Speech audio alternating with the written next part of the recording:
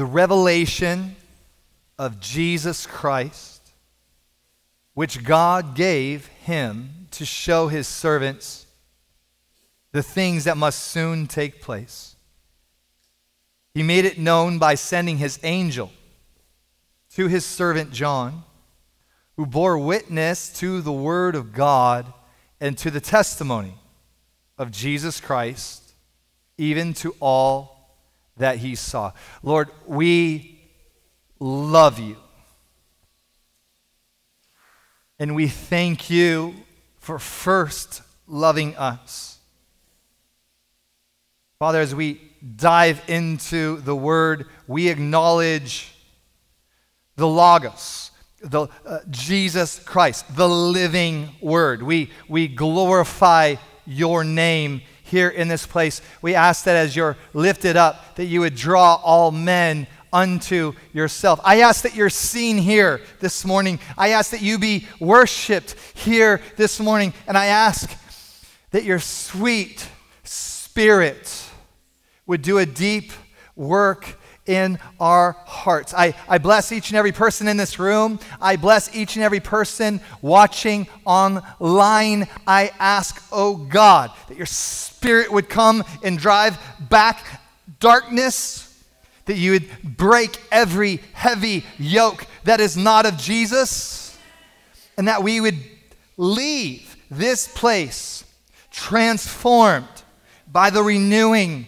of our mind. We approach your word with a, with a level of great gravity in, in, in light of the spirit of the fear of the Lord to lead us into wisdom.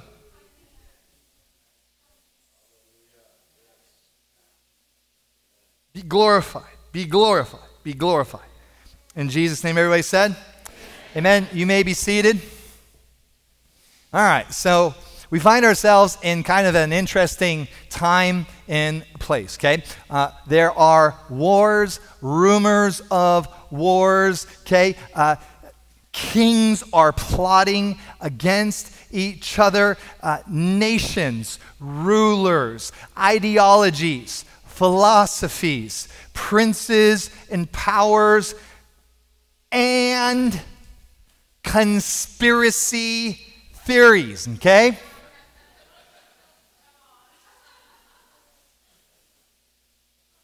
And yet, none of those things inspire our study and our approach as we go into the book of Revelation. Why? Because none of these things are new under the sun. That since the fall, that since the first transgression, we see murder, selfishness, pride, ambition, political spirits, and an antichrist spirit.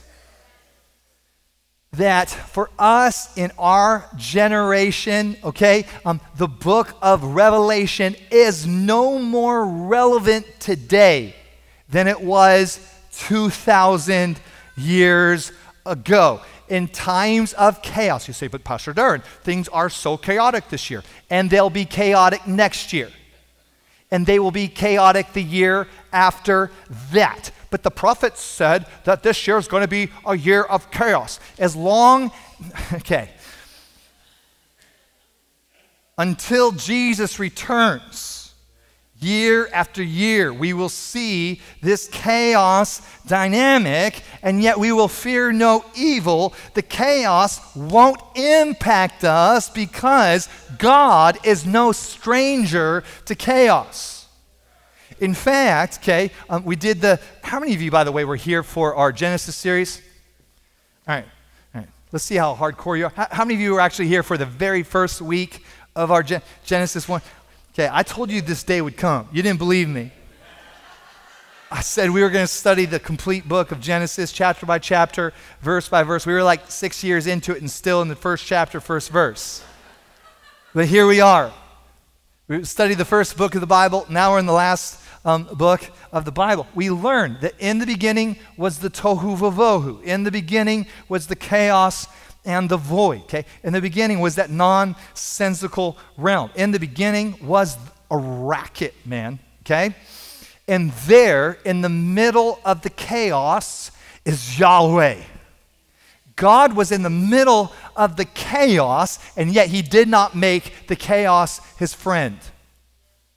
Okay? Um, there in the chaos, God spoke. He inserted his leadership and he created cosmos out of chaos.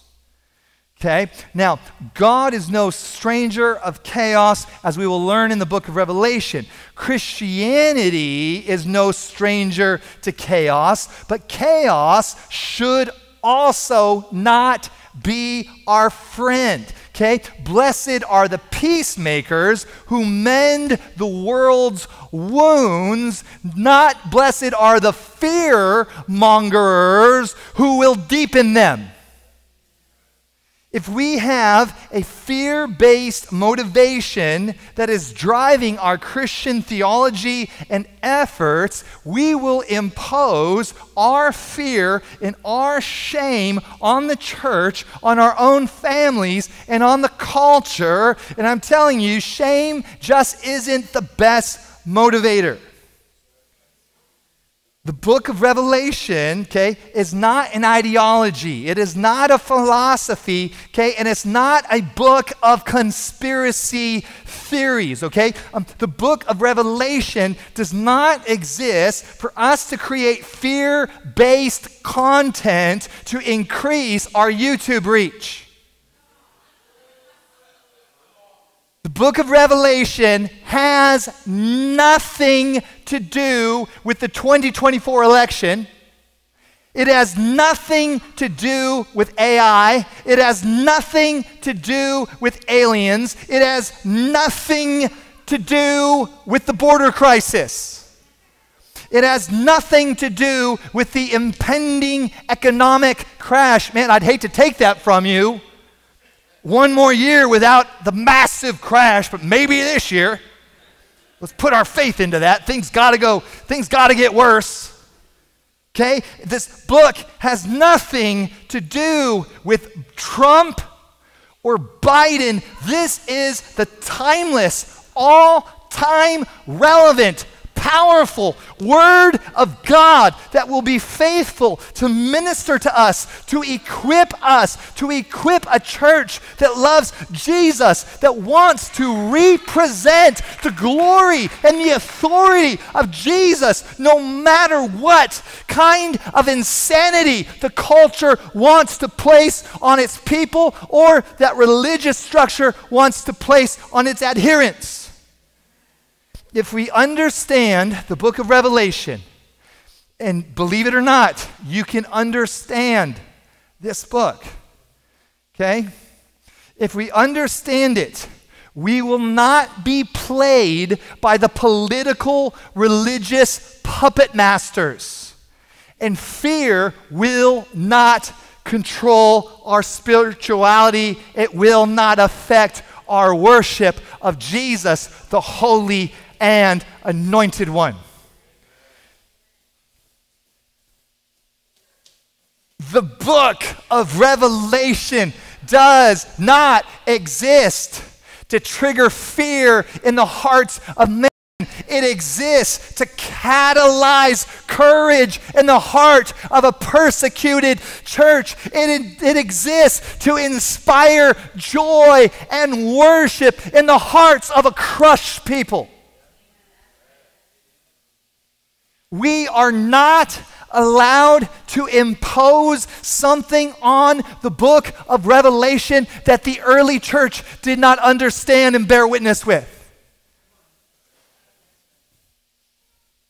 So, we approach this book, okay, with, with humility, realizing it's a book of mystery.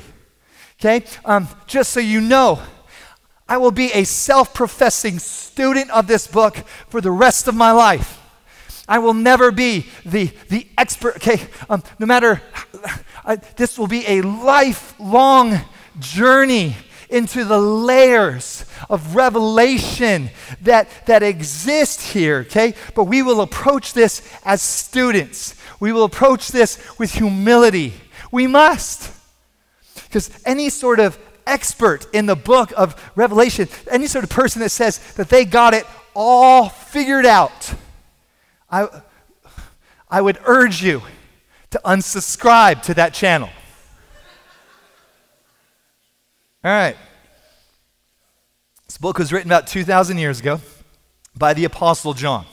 Okay, the apostles were the ones that Jesus uh, personally chose, okay? Handpicked by Jesus, apostles, okay? The word apostle means sent one. They were tasked with the Great Commission to take the good news of Jesus Christ into all the earth, okay? So here we have the apostles, here we have the early church, and they are filled with the Holy Spirit, and they have a message, and the Lord is adding to their number, okay? And they preached and they proclaimed. There was a declaration that came from their lips, and there was also a demonstration. Because you cannot have a declaration of the gospel of the kingdom and not have a demonstration of the gospel of the kingdom. I assure you, if you want to see the demonstrations of the kingdom, begin to learn the declaration of the kingdom. The declaration is the kingdom of God is at hand, heaven is at hand. Now, these apostles, these chosen ones, okay, they had a message, just like you and I also have a message. Just to me right now, I'm a sent one. Look at the person next to you and say, I got a message. You say, I, I, I don't know if I got a message. Yeah, no, you do. You have a message. You're, you're at Eden, so you have a message. Who knows? Maybe we'll be sending you to start an Eden campus, and Eden, Zimbabwe, and Eden, Kent, and Eden.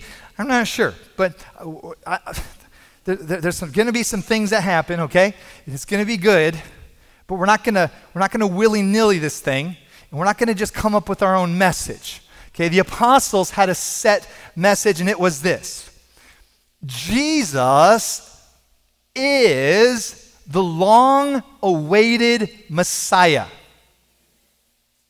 The wait is over. Messiah has come. The King has come. The second part of their message is Jesus is the Son of God. Okay? He's not just a good man, he's not just a prophet. Okay? He is the way, the truth, the life, the only way to the Father is through the Son. Eden is not a, a, universalist church. We don't honor all religions as possible gateways into the realms of heaven. There's one way to the Father, that's to the Son. Any other way into the spirit realm outside of Jesus is an impostor gateway, and you cannot trust anything that you are experiencing in these realms if you accessed it outside of Jesus. No other vibration, no other frequency, no other guru, okay? It is all, they are all impostor shepherds, but he's got a good heart. Impostor shepherd. Jesus is the way that even Eden cannot be your portal. Only Jesus can save you. Jesus is Messiah. Jesus is the promise, okay? The, the fulfilled promise of the Father. The Father made the promise to the nation of Israel. Jesus is the fulfillment of that promise. Jesus is the Son of God, and Jesus is the Savior of humanity. If Jesus cannot save you, then he is powerless and he is not God. If Jesus cannot save you from methamphetamines, he is not God. If Jesus cannot save you from pornography, he is not God. If Jesus cannot save your marriage, he is not God. If Jesus is incapable of saving you, everything I am saying is a lie. But Jesus is God. Jesus is Lord. Jesus is King. Jesus can save you. This is the message that we preach. This is the message that we believe. He is either who he says he is or he is a liar. And we are a part of the world's greatest farce. But this is not true. Every single week, we see demons come out of people. We see uh, uh, cancers healed. We, we uh, just this yesterday just found out doctor verified MS healing. Okay, we got the we got the report of the doctor saying they this lady had MS and now it's gone. And, and Abigail got to, got a word of knowledge. And come on, somebody.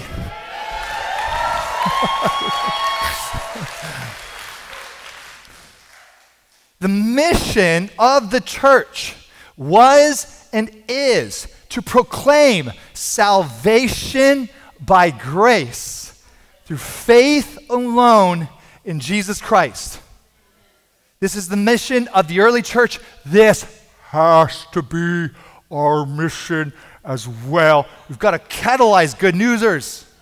How do you know you're a Christian? You're a good newser. How do you know you're a Christian? You're filled with the faith of God, the peace of God, the love of God. Man, if, if you look like tweak, ha! freaking out, sharing all your fear based propaganda, you got to get saved. Jesus is Savior, Jesus is King, Jesus is on the throne, and you are a child of this King. The apostles emphasize aspects of salvation, okay? And these were the aspects, okay? Repentance. They preached the gospel of the kingdom, the good news of the kingdom. But you didn't just get to stay the way that you are, okay?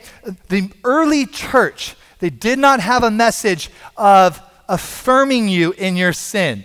The early church knew that for you to walk out your relationship with Christ, it demanded a transformation of your character and your whole being. So they, they preach repentance, that transformation is possible. Okay? They also preached the doctrine of forgiveness of sin and the authority to, to um, the authority over the power of sin. How many know that sin is power? You do not have to be powerless to sin. So we preach the gospel of repentance, change is possible. We also preach the gospel of forgiveness of sins and power over it. The apostles also preach the kingdom of God, the kingdom of heaven. This is not some sort of new world religion. This is the establishment of the nation of heaven on the earth through the people of God. Okay? Um, and for more on that, watch our Christmas series, Kingdom Now. All right. They also taught the hope of eternal life. And because of that, they were not afraid of death. Uh, because they taught the revelation of eternal life, they believed that they would walk in the shadow of death but they would never taste of it. You guys okay? Got real, got real quiet. Got real quiet in here. You guys started making me like a little nervous, actually. I'm just kidding. All right. Declare me right now repentance, forgiveness of sins, the kingdom of God, the hope of eternal life. This message was controversial, okay? Um, this message, okay, uh, was seen as a threat to the Jewish authorities at this time. So, uh, the dominant religion of Judaism, okay, uh, they, they did not like this, this, this preaching. They did not like uh, this message, okay, and so there was, this was, the early church started to come into a time of radical persecution, okay, religious persecution. The apostles in the early church also started to face imprisonment and even martyr, martyrdom. Um, uh, you could get saved at breakfast and be headed by dinner. Okay? Um, uh, we're going to look at um, the persecuted church and the context of the church that was being crushed during this time. Because if we don't understand who the church was, okay, uh, we're going to do some great damage with this book and applying things to us uh, that aren't necessarily uh, uh, supposed to be um, applied to us. So, um, this message uh, uh, that of, of, the gospel through the apostles was being pr- crushed by religious persecution and political crucifixion. Check this out. Um, during this time, during the first century, okay, in Rome, they would declare Caesar is Lord. So imagine being in the church and declaring Jesus is Lord. Do you see how subversive the Christian faith was to the entire establishment? The entire cultural establishment saw this new movement as a threat. Not only that, but people wrestled with the radical nature of Christianity. People wrestled with the fact that you could simply be saved by grace. Imagine this your entire concept for religion is all based off of what you do. Imagine having all these laws and all these records and all these feasts. Imagine having all of these handbook after handbook after handbook after handbook. This is what your worship looks like. This is what your giving looks like. This is, this is what everything looks like, okay? And then all of a sudden you hear, wait a second. My salvation is not contingent on what I do, but my salvation has been made possible because of what Jesus has done that's, that, that's radically scandalous. That's actually radically triggering, especially if you're doing a good job following the handbook. Okay. And so um, uh, people struggled with this. People also struggled with the idea that if I say yes to Jesus, most likely cost me my job because you, you, you could not belong to your, to your guilds, to the unions of this time, and be a Christian. Um, it, could, it could cost you your family. It would cost you your standing in the community. Most likely, you'd have to move out of the neighborhood. Like, to become a Christian costs you everything.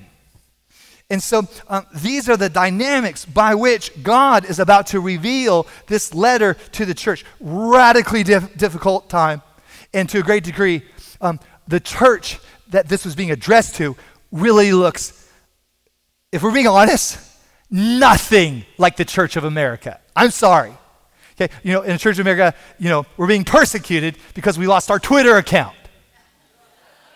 Look, I'm sorry, and I hope you got it back. We, we do not know persecution in America. Okay? We, we, we just don't. So get over yourself and let's see um, that there are other cultures that are in a very similar spot in place to the early church, okay? And and yet we have to prepare. This is a pro- this is a prophetic book, and we must we must study it. Why? Because this prophetic book, it will prepare us because there are patterns in history. History repeats itself. There is an antichrist spirit, and whether it's in our generation or the next, I am telling you, there is a time coming where the book of Revelation is not a luxury, it is a necessity for us to navigate the trickiness of the times. Let's begin with the beginning of Revelation. It begins by saying, the revelation of Jesus Christ, which God gave him to show his servants. This is not the book of Revelations. It is the book of the revelation of Jesus Christ. The purpose of this book is it's, it's the revelation, the, the the apocalypsis. This is the unveiling. This is the disclosure of Jesus, okay? The purpose of this book, okay, the core objective is to make Jesus known to us to unveil a deeper understanding and appreciation for who He is, okay, His character, His role in the world, His role in the church, and His ultimate victory. Okay? Um, when we read the book of Revelation, we are going to discover afresh who God is, the image of God in us. And this great partnership with this amazing work that has begun and that He will finish it. It will be complete. It will be beautiful. It will be glorious. This is a great unveiling made possible by God. It says, God gave this revelation. God gave this revelation to Jesus Christ, who then conveyed it to the angel, right? And then to the apostle John. From God, okay? Um, uh, uh, uh from, uh, uh, to reveal Jesus from God Himself to the Apostle John, the letter given to the church. And we see that this book ultimately is a worship book, it's a disclosure book. Okay? And we will see that there will be plenty of wonderful, okay, opportunities to get distracted. Okay? and I am going to have to be accountable to you. You're going to have to be able to say, and the elders here are going to have to be able to say, Whoa, Darren, Darren, Darren, Darren, let's bring it back to Jesus. There's going to be some wonderful opportunities for you to get distracted. We're going to be in this for the entire 2024, in this election year. Okay? Um, uh, uh, uh, things are going to be happening. Things are already happening. Okay? And um, I'm going to need I'm going to need you to keep your focus. I'm going to need you to keep your focus on Jesus. That, that you're able to turn off the TV and say, Yeah, but where is Jesus at? That you're able to get to Revelation and say, Yeah, but where is Jesus at? That, that together as a community, we will say, We will behold Him. Because then we will respond like Him in the midst of this crisis. This crisis is just an opportunity for us to represent His glory, righteousness, the authority of His kingdom on the earth. And it says here that He made known, okay, by sending His angel to His servant John. This word sent here, okay, speaks of sent and signified. Okay, in the Greek, it means to give a sign. So, um, gift from God to glorify the Son, given to the, imba- the, the, the, the agent of transmission, Apostle John, a gift to the body of Christ. See it? And it says here, okay, how did he do it? He did it through a sign. Okay? Um, uh, this signet sign, this letter is a sign, it is a token, it is filled with symbols. Okay? Um, and as we are diving into this, we're going to unpack this even more um, next week. We will say that God has a lot to say, but what he has to say, it is so um, subversive and such a threat to every dynamic of that day. It literally has to be encoded through imagery. It literally has to be encoded through symbols. Now, if you were a pagan in this time and you got a hold of this letter, it would make no sense to you because you would have no understanding of the Jewish writings. Okay? Um, in the same way, for many in the church, the book of Revelation makes no sense to them because we lack understanding of the Old Testament. So, in order to understand the book of Revelation, we have to see that Jesus is the key. Jesus is the key who unlocks the entire Old Testament. And as we dive into this book, we'll approach it through Christ, the key, unlocking the entire Old Testament because the Jewish people would understand what the lamb means. The pagans would read this and say, Lamb? That makes no sense. Okay? Uh, the pagans would read this and say, You mean literal whores and dragons are going to come out of the ocean? Okay? If you don't understand the Old Testament, you would say the locusts aren't really locusts, Pastor Darren. Now, beloved, don't you understand that those locusts were um, black Apache, Apache helicopters, okay? Now, those locusts in Revelation are actually um, governmental. Um, the World Health Organization has these helicopters, okay, that look like locusts. And what John was seeing was the World Health. I got to be careful because we're streaming on Facebook and YouTube. I was briefed recently about things I can say and can't say. Um, I even had to, I even had to take a course um, as far as things I'm allowed to say and not, and not say. Um, th- this might be the year that uh, we leave YouTube forever and do something, do something different. But, um, but we are still, uh, we can't we can't pick on the World Health, but we can pick on the Catholic Church. they don't care about that. You know? Darren, Darren, don't, don't you know? Um, This book is going to look like a total mystery. Uh, it's going to look like it's not even possible to understand. But as we dive into this with Christ the key, unlocking the Old Testament, we will see that it gives to us a multi layered, beautiful approach to the chronos timeline of God's Word. And the way that it that the way that it jumps around in the scriptures is absolutely radically extraordinary and doesn't follow our Greek way of understanding a story. So, with all that being said, we are in for the time of our lives. We are going to dive into the revelation of Jesus the Christ, the holy and anointed one, the ancient of days, a literal letter written to a literal people with massive prophetic implications for the earth and the nations today. It's going to awaken us, it's going to mobilize us, it's going to humble us. And I am so stinking excited to be in this journey with you. Let's stand up together.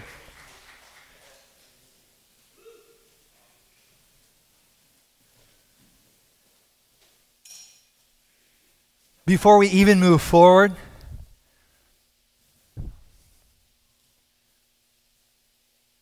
I need to invite you to surrender any sort of self lordship or any sort of attempt to save yourself.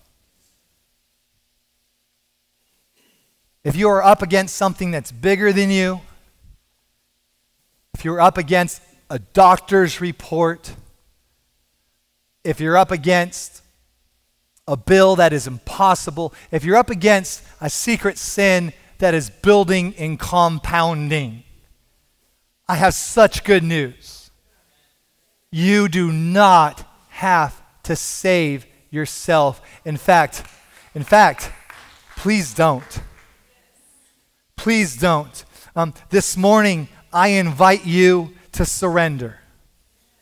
I invite you to to, to, to wave your white flag and to come out of the house with your hands up. I invite you to make this day the greatest day in your life, not the day when all your problems were immediately solved, but the day you met a sufficient, trustworthy Savior. One who will come alongside of you from this day forward whose guarantee of union will be sufficient because of his covenant and his sacrifice, not your sacrifice. And if you would say to me today, Pastor Darren, I need this. I need this kind of saving. I need this kind of Savior. I don't want to do this on my own. I don't want to do the religious thing. I don't want to have to just, just fake holiness or pretend to be Christian. I want the real deal. I want Jesus, this King of glory, his glorious spirit inside of me and transforming me. Pastor Darren, I want to go on this journey into the Word, but I don't want to do it without the living Word. Can we all just lift up our hands together? Would you just say this with me? Just say, Jesus, Jesus. I surrender. I give up. I can't make myself holy, but by faith, I receive the gift of your holiness. I receive the gift of your righteousness. I receive the gift of your faith inside of me. I surrender. I give up. I ain't to fake it till I make it. I want the real God. I want the real Spirit of Christ Jesus. I want to see the real power of God. I ain't going to fake it. I know you aren't going to fake it. Jesus, I need you. I declare, I believe in my heart, I confess with my mouth that Jesus is Messiah. Jesus is the Son of God. Jesus is my solution and the solution for nations. And by faith, I grab a hold of the hand of Jesus right now. And by faith, Jesus, you grab a hold of my heart right now. Holy Spirit, I receive you to come inside of me, not to visit with me, but to occupy me. Holy Spirit, come. Holy Spirit, come. Fill me now with your Spirit. Fill me now with your grace. Fill me now with empowerment to overcome sin. Hallelujah. Hallelujah. Hallelujah.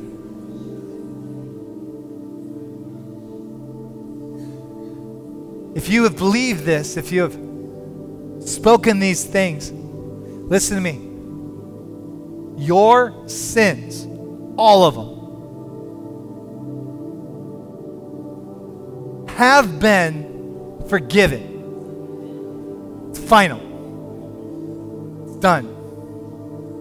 There is now no more condemnation in his heart towards you. He loves you. He loves you. He loves you so much. He wants to take that fear, he wants to take that abandonment. Hallelujah. Hallelujah. He loves you so much. Can our ministry team come? If you're here today and you've been tormented, oppressed, underneath the heavy yoke of demonic harassment, even in the even in the first service, I don't know if, if he's here in this service, but even in the first service, a young man came up to me in a battle, man. You could you could feel the battle.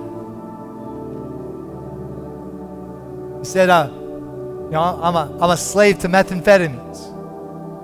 Will you pray? And I told him, I told you, if Jesus is incapable of setting you free from that crack pipe, then he is powerless. Power God came, you know. There, there was stuff there. I felt it in the first service. I feel it in this service. You do not have to be subject to the yoke of slavery. You do not have to be subject to condemnation, to demonic harassment. If you're here today and you've attached yourself to something that's not clean, something that is not right, you're here today and you feel that battle inside of you. You're hearing the Word of God say, This thing requires your complete surrender, and yet there's something inside of you saying, I can't give it up.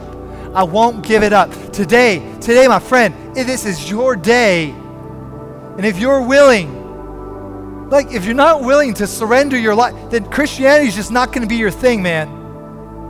Like, the only way into the kingdom is all in, it just requires all your chips. And if you're willing, listen, if you're willing to go all in today, I am telling you, God already went all in 2,000 years ago when He gave His only begotten Son for you because of His love for you. He's already gone all in. And if you're willing to surrender, God will show up, He will show off, he will do something, not next year, not in five years from now. He will do something today. He will break the heavy yoke. He will drive out those demons. He will radically set you free. He will set you on a new trajectory. And if that's you, man, I want to call you into the kingdom today. I want to call you into the nation of heaven on the earth, into the family of God. So if that's you, man, promise me you won't leave. Don't, don't just go. Don't just, don't just go on with your life. Come up. Just, I want you to see one of, one of these amazing men. Look at, we've got like 80, 100 people here this morning. You won't even have to wait in line. You just come. It won't be like the DMV. You just come right up to the front. We're going to pray for you. We're going to stand with you. And God is going to show up and He's going to show off in your life. Is that good? And then if you're new here or newish, I want you to see me out there in the hallway. I got a book for you. You can read it in like four bathroom readings. It's really real thin, real thin book. Otherwise, you are absolutely loved. God bless you.